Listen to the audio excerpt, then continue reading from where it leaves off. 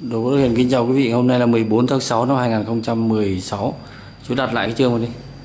Chúng tôi đang tháo chiếc tủ chùa bầu bởi vì cái này là được anh Lương ở ngã tư An Sương, Hồ Chí Minh đã đồng ý lấy ngày hôm qua.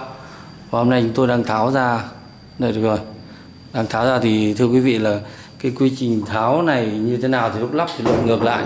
Đầu tiên là tháo chiếc cánh ờ, gương ở giữa này sau đó là nhấc cái phần trương ở trên ra.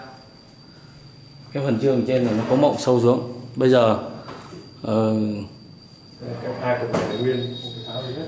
cái tủ chủ bầu này là hai cái phần bên cạnh là nó đã liền khối rồi.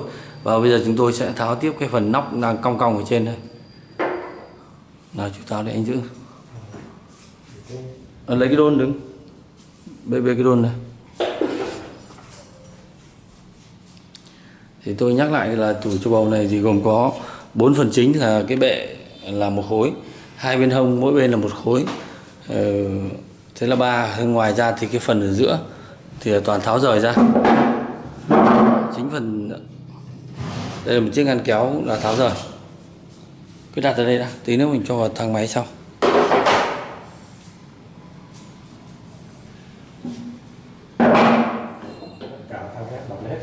Khoan từ từ. Đúng rồi. Bây bây giờ chúng tôi sẽ gõ nhưng mà tí nữa chúng tôi sẽ đánh dấu cái thang hét này. Mấy cái thang này sau khi ập vào là gõ từ trên xuống. Đây khi lắp là tháo khi tháo là gõ từ dưới lên. Và khi lắp là lắp từ trên xuống. Nhưng mà bây giờ tôi sẽ lấy bút tôi đánh dấu luôn. Đây có phần nữa rồi. Như vậy là đây là số một. 1 đi với 1 này. Hai hai. Số 2 đi với 2 này thế là đây vào đây đây đây, đây Thôi. cắm nhầm ừ, ba bốn. 3 đây là 4 này Thế. và đồng thời cái ván này chúng tôi cũng đúng vị trí này 5 6 Dạ, vì bán là có hai miếng. Đây, Vì ván này chéo, tôi là có- cái chéo phát hai chéo hai Đây. miếng. Ván này cái đây là phần chắp. Ván là hai miếng ấy bây giờ là đây khi tháo là đánh đánh hai bên lên là nhấc ra. Khi lắp là chỉ việc đánh vào thôi là xong. Xong. Đây là cái nóc đã tháo ra rồi.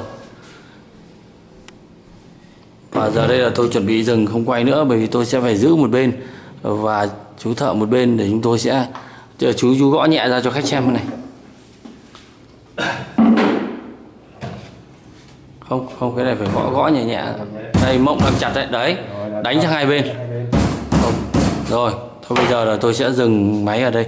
Cảm ơn quý vị đã quan tâm theo dõi và để tôi sẽ phụ giúp với chú thợ để tôi tháo này. Tôi xin nhắc lại là lúc này là ngày 10 chiều ngày 14 tháng 6 năm 2016 và chúng tôi đang tháo chiếc chủ chùa bầu theo yêu cầu của anh Lương ở An Sương Hồ Chí Minh. Cảm ơn quý vị.